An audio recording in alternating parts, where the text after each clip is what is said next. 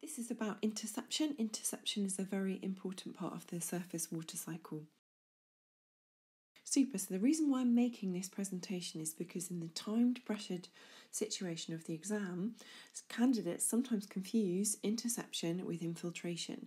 So, when you've watched this, you won't ever do that again. These are the three questions that I'm going to take you through.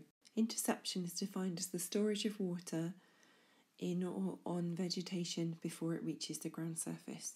So here we have a leaf, it's rained on the leaf, and water droplets have formed on the surface of the leaf and they're being held there by the leaf. The amount of interception will depend on the shape of the leaf.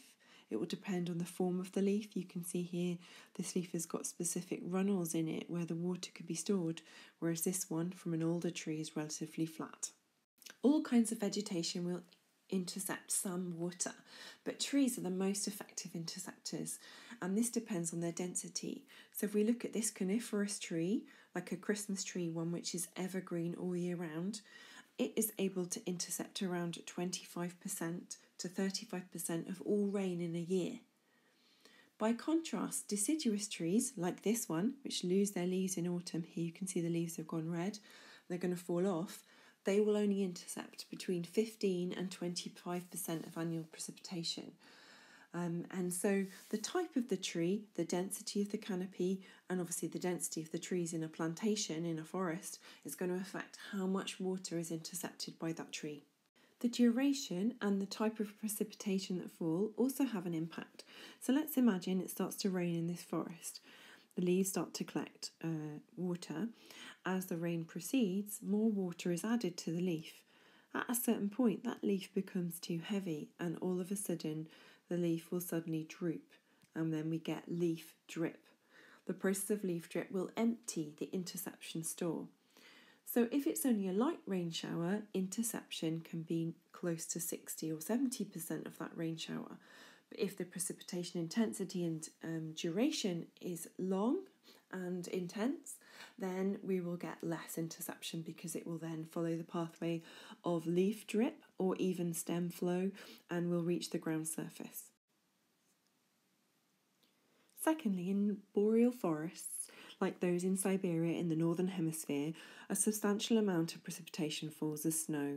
During the winter, the snowfall accumulates on the branches of the tree, and the trees are structured in such a way that they actually catch a huge amount of that snow.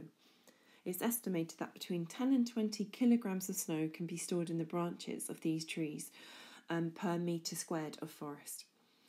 So, this is very important, and it means that the precipitation is stored, and then in spring it's suddenly released in the spring snow melt, which has an impact on the river levels and on the rest of the catchment's hydrology where the trees are. Interception loss is the process by which a droplet of water, which has landed on the leaf, then goes back into the atmosphere again via the process of um, evaporation. This is controlled by temperature higher temperatures, more evaporation. It's also controlled by wind speed, higher wind speed, more um, evaporation, more loss of water from the interception store. And thirdly, it's controlled by humidity, because in conditions of high humidity, the evaporation rate is lower. Human activity affects interception in a number of ways, um, and you can probably think of lots of these, but here's two. Number one is deforestation. If the forest is uh, forest cover is lost, obviously there's going to be no foliage to catch in the incoming um, precipitation. Therefore, we see more surface runoff. More surface runoff leads to increased water in the river channel, leads to increased risk of flooding, like we've seen in the tropical forests and the Madeira Basin in the Amazon. Secondly, Many areas of forest have been turned over to, for agriculture. For example, he, here we have one of the world's most used products in food, the soya bean. When the soya bean is planted, obviously it's able to intercept incoming precipitation. But when it's harvested, then there's no interception whatsoever. So in, when cereal crops of all kinds are harvested, this me- means that the sunlight then reaches the ground surface and that can lead to baking effects, then reducing infiltration, which we'll look at in a later presentation.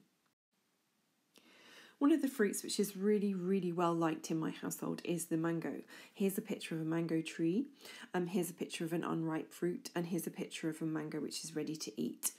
Let's look at the data on the mango tree. These two graphs are taken from some really recent research done in 2018 on the mango tree. So the mango tree um, was um, involved in two precipitation events, event one and event two. Study these graphs and then I'd like you to suggest reasons why the blue line, the interception, in this tree were different for the two different events, rainfall events. Rainfall is shown in red. Press pause now, have a think about this before you move on.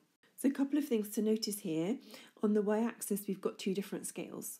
In event 1, around 30 millimetres of rainfall. In event 2, however, around 79 millimetres of rainfall. And we can see that event 2, there's a much bigger gap between the amount of rain that falls and the amount of rain that can be intercepted.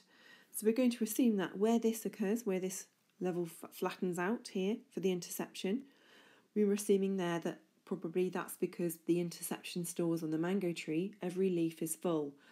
So at this point, after this point, we're expecting that leaf drip processes and stem flow processes will be more important.